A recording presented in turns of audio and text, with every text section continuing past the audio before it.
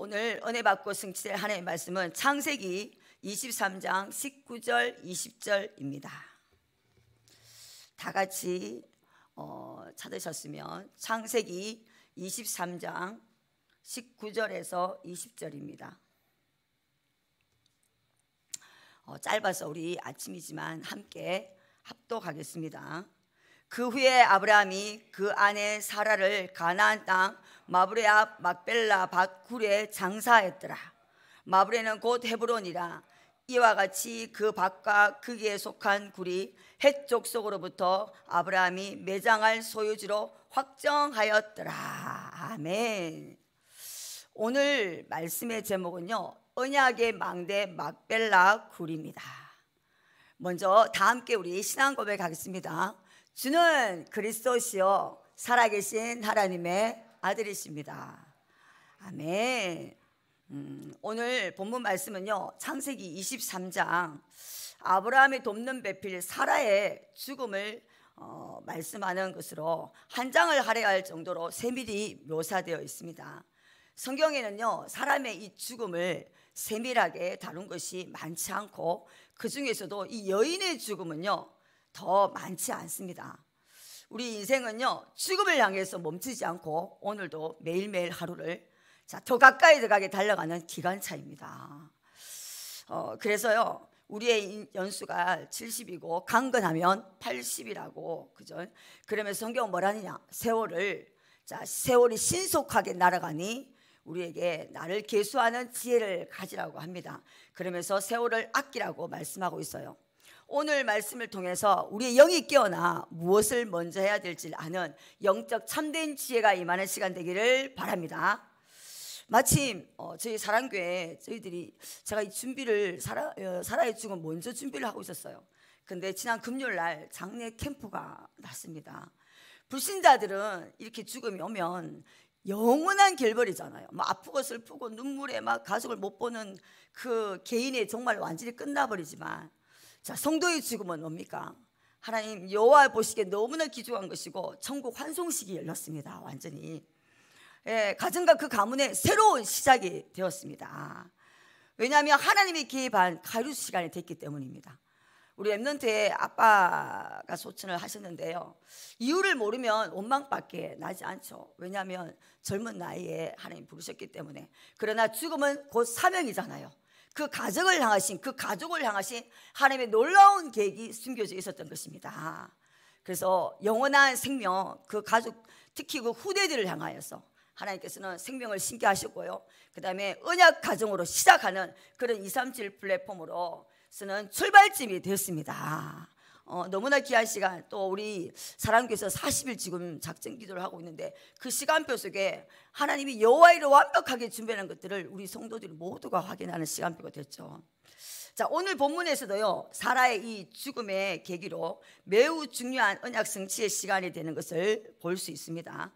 아브라함이요 막벨라구를 사서 가문 대대로 언약 성취의 중요한 분기점이 된 것처럼 우리 예언의 성도님도 하나님이 지금 가정해 주시고자 하는 언약의 망대인 막벨라구를 발견하여 언약 가정 237 플랫폼이 되시기를 주 예수 그리스도로 축복합니다. 첫째, 복음의 가정이 누린 언약입니다. 창세기 23장 1절에 사라가 120 127세를 살았으니 이것이 곧 사라가 누린 횟수라. 아브라함이 자 어, 산이 막벨라굴은요 사라의 죽음 사건 때문에 진행되었고 언약 성취의 중요한 분기점이 됩니다. 본문에서 사라의 나이가 127세로 포기되어 있는데 그죠 매우 아주 특별한 영적 의미가 있습니다. 당시에 어, 여자는요 사람의 수를 세지도 않았어요. 그래서 무가치한 존재였고 여자들은 그런데 사라는 지금 자신의 죽은 나이까지 성경에서 말씀하고 있습니다. 이게 무슨 말이냐면요 아주 중요하다는 겁니다. 어, 우리는 아브라함의 이 믿음은 너무나 잘 알고 있어요. 그런데 그 돕는 배필했던 사라가 얼마나 큰 믿음이 있었다는 것은 모르고 있습니다. 하나님 주신 언약은요 아브라함에게만 전달됐는 것이 아니라 바로 사라에게도 동일하게 전달되었던 것입니다. 히브리스 11장 11절을 보면 믿음으로 사라 자신도 나이가 많아 단산하였으나 잉태할 수 있는 힘을 얻었으니 이는 약속하신 이를 믿으신 줄 알았습니다. 라고 성경은 말씀하고 있습니다. 결국 사라에게도요 언약에 대한 믿음이 있었기 때문에 아브라함과 함께 언약의 자녀 이삭을 얻게 되었다는 것입니다. 이번 주에 강단 말씀 언약의 가정 237 선교의 플랫폼이라는 말씀을 하셨는데 바로 아브라함과 사라는 우리의 믿음의 조상이며 복음적 부부이자 언약적 부부의 모델이었던 것입니다. 최초의 모델이죠 어떻게 보면. 그런데 사라의 일생을 살펴보면요 90세까지는 응답이 없는 괴로운 인생이었어요 완전히 왜냐하면 자녀를 못 낳다 보니 첩에게는 무시를 당하고 사회적으로는 얼굴을 들지 못할 정도로 그 구약 시대에 아이 못 낳으면 완전 인간 취급을 안 했습니다. 그러면 얼마나 자기 인생이 안 풀려서 90세까지 여러분 한 생각해 보세요. 지금 제가 58세 9세인데 지금도 응답 못 받는다면 얼마나 억울하겠습니까? 안 풀리고 갈등이 많고 힘들고 절망이었습니다. 완전히. 그런데 언약을 붙잡는 순간 그 90세 절대 불가능이 절대 가능으로 바뀌어지면서 절대 절망에 완전히 반전된 것입니다. 하나님이 사라 인생에 개입해 들어오셨어요. 완전히 바꾸어 주신 것입니다. 이게 바로 언약이에요. 이게 놀라운 겁니다, 여러분. 그 언약을 잡으셔야 돼요. 지금도요, 우리 성도님들 중에서는요, 나는 왜 기도에도 응답이 없지? 내가 예수를 믿는데 내 인생은 왜 이렇게 안 풀리고 꼬이지? 만날라는 문제가 너무 많아. 하는 분도 혹시 있을 수 있습니다. 무응답은 하나님이 응답을 안 해주시는 것이 아니라 그 속에서도 지금도 쉬지 않고 일하시고 함께 하신다는 겁니다. 우리 눈에요 응답이 없는 것처럼 보일지 모르지만 하나님이 간섭하고 일하시는 그 손을 나중에 알게 됩니다. 왜요? 은약이 있는 사람은 분명하게 알게 됩니다. 사라 입장에서는요 90세 이삭을 낳고 127세를 떠났으니 이삭과 함께한 37년만 인생의 황금기고 누림이었다고 얘기하는 사람도 있습니다. 그러나 성경은 127세를 살았으니 이것이 곧 사라의 누린 횟수라고 딱 나와 있습니다. 그 무슨 말이에요? 127세 전부 다 사라가 누린 횟수라고 말하는 거죠.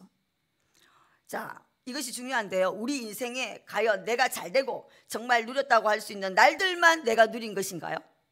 정말 절망의 시간이고 막막한 기간이고 고통스러운 그 시간은 하나님께서 인생을 돌보지 않으시고 인도도 안 하시고 그렇게 버려놓으신 것입니까? 아니다는 것을 오늘 말씀하십니다. 사라에게요 90년 동안 그 아픔과 고통, 절망이 있었기 때문에 나는 할 수 없는 일을 하나님이 하셨다고 고백하셨습니다. 창세기 23장 3절 4절을 보면요. 사라가 가나안 땅 헤브론 곧 기랏 아르바에서 죽음에 아브라함이 들어가서 사라를 위하여 슬퍼하며 애통하다가 그 시신 앞에서 일어나 나가서 해 족속에게 말하 이르되 나는 당신들 중에 나그네요. 거류하는 자이니 당신들 중에서 내게 매장할 소유지를 주어 내가 나의 죽은 자를 내 앞에서 내어다가 장사하게 하시오. 사라가 세상을 떠나게 되자요 아브라함은 해 족속에게 매장지를 달라고 합니다. 해 족속은 하나님이 아브라함과 함께 하심을 받기 때문에요 우리 묘실 중에서 좋은 걸 택하 너 공짜로 써라. 이렇게 말했어요. 이때 아브라함은요 해쪽석 유럽자인 유브론에게 굳이 팔기를 막 요청합니다. 세 번에 걸쳐서 공짜로 가지라고 하는데 거절을 하면서요 은 400세겔에 사게 되거든요. 이 은 400세겔은요 우리가 상상할 수 없는 엄청난 비싼 가격입니다. 싼 가격이 아니에요. 그 시세보다 엄청 더 얹어서 준 거예요. 세 번이야 공짜로 써야 했지만 친절을 베풀어 예의상이라도 그냥 받을 수 있는데 아브라함이 왜 굳이 이 막벨라구를 돈으로 샀느냐 말이에요. 그 이유를 우리가 좀 알아야 됩니다. 아브라함은요 언약 성취하시는 하나님을 100% 믿었기 때문에 이 기회를 지금 놓치지 않고요 언약적 도전을 했던 것입니다. 아브라함이 공짜로 구를 받았다면 당시의 거래법에 그 소유권이 해쪽 속에 있기 때문에 아브라함 대에만 그 매장지를 썼다가 다시 돌려줘야 돼요. 자, 그러나 아브라함은요, 사라의 그 장지 준비뿐만 아니라 미래의 가나안 땅 정복이라는 언약실을 위해 후대까지, 후대까지 그 언약을 차지할 수 있도록요, 지금 값을 주고 사는 겁니다. 자기만 하는 것이 아니죠. 후대 것까지 지금 미래에 하나님신 언약이 있어요. 아브라함은 본토 친척 아비 집을 떠나 하나님이 지시하는 땅으로 온 지가요, 60년이 되었어요. 지금 시간이. 근데 아브라함은, 아브라함은요, 3, 318명의 가병도 있었어요. 엄청난 부자였습니다. 그런데 신기하게도 한 평의 땅도 없어요. 그래서 나그네요, 여기 거류자라는 자신을 소개를 그렇게 합니다. 이 막벨라 굴을 삼으로써 처음으로 아브라함이 법적 소유지의 땅을 얻게 됩니다. 막벨라 굴은요 매장지에 불과한 작은 땅이지만 이것이요 기랏 아르바 라고도 하고요 헤브론이기도 합니다. 헤브론은 다윗이 7년간 왕으로 있은 도승이며 여호수아 14장 12절에 갈렙이 요구한 이 산지를 내게 주소서 바로 그 산지인 기랄 아르바며 중요한 언약 성취의 장소입니다. 우리 여호의 성도님들도요 쉬지 않고 일하시는 하나님의 역사하심을 보는 눈이 열리시길 바랍니다. 아브라함과 사라처럼요 복음의 가정이 눈이 누린 언약적 모델이 되어 237 5천 종족 살리는 선교의 플랫폼의 주역으로 쓰임 받으시기를 주 예수 그리스도로 축복합니다. 둘째로요 후대에게 전달할 언약입니다. 아브라함이 막벨라구를 산 것은요 오래전에 하나님 주신 언약을 잊지 않았고 않고 있었기 때문입니다. 창세기 15장 13절 16절을 보면요 너는 반드시 알라. 네 자손이 이방에서 계기 되어 그들을 섬기겠고 그들은 400년 동안 네 자손을 괴롭히니 그들이 섬기는 나라를 내가 징벌할지며 그 후에 내 자손이 큰 재물을 이끌고 나오리라. 너는 장수하다가 평안히 조상에로 돌아가 장사될 것이요. 네 자손은 사대 만에 이 땅으로 돌아오리니. 자 아브라함이 이 언약을 받을 때가 언제냐면요. 피 언약을 놓쳤을 때예요 자, 새 한 마리, 작은 새 한 마리 작다고 쪼개지 않았는데 자기 후손들이 어떻게 됩니까? 애굽에 종살이 하는 400년의 종살이 하게 됩니다.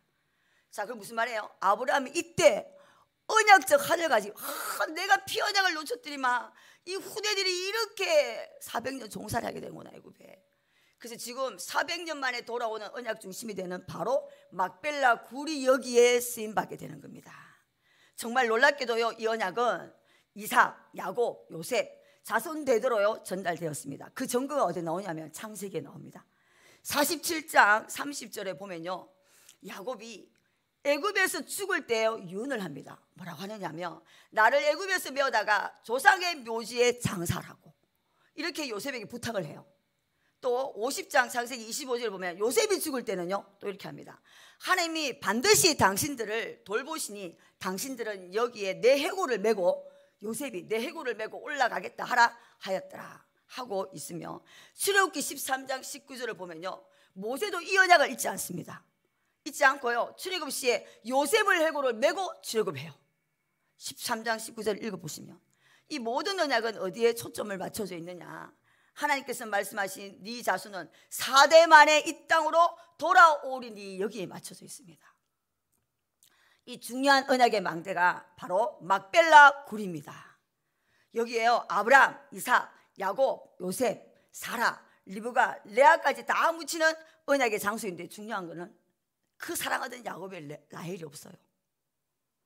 여러분 너무 중요해요. 언약이 정말 중요합니다. 바로 이스라엘 백성들이 출애굽하여 가나안 땅을 정복하는 약속의 망대인 것입니다. 막벨라 굴이. 그런데 이렇게 집중되어 있는 이 막빌라고를 통해 주신 약속의 땅은 결국 무엇입니까? 바로 메시아 장차 오신 그리스도의 언약이 성취된 땅입니다. 그 가나안 땅이. 자, 아브라함 뭐예요? 피 언약을 놓치면 어떻게 됐습니까? 바로 재앙이 임합니다. 그래서 이 피 언약이 되신 그리스도는 우리의 모든 저주와 재앙을 막는 참 제사장이십니다.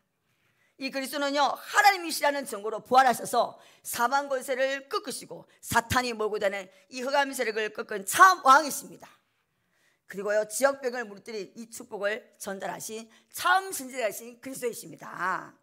그래서요 모든 것 대신 이 그리스도의 가치를 정말 알고 누리는 자는 영원한 기억과 분깃이 되어 보좌의 축복 시공간 소월 237 살릴 그 빛의 망대가 되는 것입니다.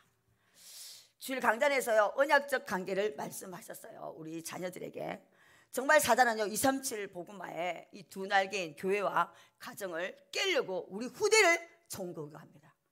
아브라함은요 자신의 후대들이 나중에 400년 종살이 하고 돌아왔을 때 그 후대들에게 줄 언약의 땅 그것을 확보했습니다. 우리도 우리 자녀들에게 이 영적 막벨라구리 언약을 물려줄 언약의 망대를 세워야 하는 것입니다 사라는요 약속하신 이를 미쁘신 줄 알미라라고 고백한 것처럼 우리 후대 대대로 언약에 미쁘신 하나님을 알고 전달해야 되는데 자 시편 우리 100편의 5절에 여호와는 선하시니 그의 인자하심이 영원하고 그의 성시하심이 대대로 이르리로다. 자 문제는요 우리 아이들에게 이렇게 전달한다고 우리 자녀들이 알아듣고 깨닫고 아, 아멘 아멘 하나요? 아, 전혀 아니잖아요. 그래서 강단에서 영적 소통하라고 말씀하셨습니다 이번 주에. 이번 주 금요 강단은 에스라는 영적 무감가에 빠졌던 제사장들과 레인들이 마치 자신이 범죄한 것처럼 회개하고 기도를 하니 하나님이 이들의 마음을 움직여 가지고 변화시켜 주셨다고 성경에 약속되어 있었습니다. 우리 자녀의 마음을 누가 변화시킬 수 절대로 우리가 변화시킬 수 없습니다. 자녀가 말씀을 떠나 있는 것이 아버지 나의 잘못입니다. 회개하고 부모가 엎드리고 부르짖게 된다면 하나님 앞에 하나님이 반드시 우리 자녀들을 작업하는 것을 보게 될 것입니다. 자, 이것이요. 잔소리하여 자녀를 노엽게 하는 것이 아니라 오직 주의 교훈과 훈계로 양육하는 것이며 하나님께서 그 언약 때문에 우리 자녀들을 멋지게 사용하실 것입니다. 예, 그 아이 수준이 아니라는 거죠. 뭐 때문에요? 언약 때문에 사용하신다는 겁니다. 이것이 바로 우리 자녀들을 하나님과 언약적 관계를 만드는 재창조하는 시간입니다. 하나님께서는요, 자기를 찾는 자를 체험하게 하신다고 말씀하고 계십니다. 자기를 찾는 자 하나님 어떻게 한다고요? 선을 베풀어 주신다고. 내가 능력을 베풀어 주겠다고 약속하셨어요. 우리는 순교자적 사명으로 감당하는 각오로 후대들이 언약의 바톤을 이어갈 수 있도록 말씀과 기도의 망대를 세워야 하는 것입니다. 뜻을 정하여서요. 하나님의 전신갑주를 입고 영적 싸움을 해야 됩니다. 왜요? 자, 우리 자녀들이 살고 있는 이 말세에 고통하는 이때는 우리보다 점점점 더 악한 세대가 온다고 반드시 얘기하고 있습니다. 또한 사단은요, 무엇인가를 우리가 지금 처음 시작하려고 하면 더 발악하고 더 초반부터 깨버리죠. 왜요? 시작도 하지 못하게. 그죠? 포기하도록. 내년에 선교의 플랫폼으로 본격적인 선교의 원년이 시작되고 2023년 새로운 직분을 위해 일할 시작점입니다. 자, 오늘이 며칠입니까? 12월 1일이에요. 자, 우리 예원교회는 12월 1일이 뭡니까? 새해예요, 여러분. 오늘이 새해 아침이라는 것을 좀 기억했으면 좋겠습니다. 오늘의 의미를 찾으시면 천지 개벽하는 날이 됩니다. 그냥 무의미하게 있으면 그냥 오늘은 그냥 흘러가는 그냥 크리스 시간이에요. 그렇죠? 여러분 오늘 잡으시면 12월 2일 새구나. 내가 작심삼일이라도 오늘 좀 작정해야 되겠다 하면 달라지는 것입니다. 예, 새해라고 하셔요, 새해. 자, 오늘 새해입니다. 맞습니까? 자, 그래서 이제 사단이 총경을 할 것이고 자 여기에 당하지 않고 속지 않기 위해서는요 오늘 지금부터 강단 말씀 잡고 집중 기도해서 본격적인 영적 싸움의 시간표가 시작되기를 바랍니다. 우리 예언의 모든 성도님들은요 아브라함과 사라 그 자손들이 대대로 언약을 붙잡았던 것처럼 2세 237 언약 공동체를 이루어 함께 응답받는 언약 성취의 주인공 되시기를 주 예수 그리스도로 축복합니다. 결론입니다. 어, 오늘 본문 말씀 막벨라굴은요 어, 2003년도에 9월 26일 금요 강단에서 저희 가정에게 주신 언약이에요. 어, 저는 날짜를 기억하죠. 그죠? 그 당시 저희들은 뭐 완전히 은 400세겔을 산건 아니에요. 작은 값으로 어, 샀는데 19년이 지난 오늘 보니까 7천만 사랑부 현장 될 줄은 꿈에도 생각을 못했습니다. 이 언약이 저를 여기까지 이끌어 왔고요. 그 다음에 하나님이 언약 때문에 시작하셨고, 하나님이 인도하시고 계시고, 하나님이 완성하실 것입니다. 그래서 우리는요, 감사할 것밖에 없다고 고백하게 되는 것입니다. 그날에 여호와께서 말씀하신 이 산지를 지금 내게 주소서. 언약 잡고 기도하고 하나님이 더 크게 하실 나중의 영광을 제가 기대하고 있습니다. 왜요? 언약이 있으니까. 저를 보면요 너무 부족하고 저는 너무 연약해요. 제가 과연 7천만 사랑부 현장, 저 발달장애 현장 수많은 적들과 경고한 성들이 저를 두렵게 합니다. 환경 바라보면요 시도 때도 없이 그죠. 그렇지만 주님을 신뢰하고 주님을 의지함으로 주님이 주시는 담대함으로 나가 언약 성취의 증인이 되고자 합니다. 이번 12월 한 달은요 한 해의 마무리이자 새롭게 시작하는 너무나 중요한 시간표입니다, 여러분. 이 12월을 어떻게 보내느냐에 따라서 여러분 달라 2023년이 달라집니다. 그래서 원단의 말씀을 하나님 앞에 어떻게 받을 것인지 여러분 준비하셔야 돼요. 복음과 전도를 위해 본당 헌당에 온전한 헌신을 한 것처럼 이제 237 성교를 위한 여러분 성교의 막벨라굴, 직분의 막벨라굴, 나의 현장의 막벨라굴 땅을 차지하시길 바랍니다. 그래서 이 믿음의 유산을 남겨야 하지 않겠습니까? 그죠? 우리 후대들에게 우리 예원의 성도님들 나의 이 언약의 막벨라굴이 무엇인지를 발견하고 확정하여 내게 주신 그 언약의 땅을 차지할 이 언약의 망대 빛의 망대를 든든히 세우길 주 예수 그리스도로 축복합니다.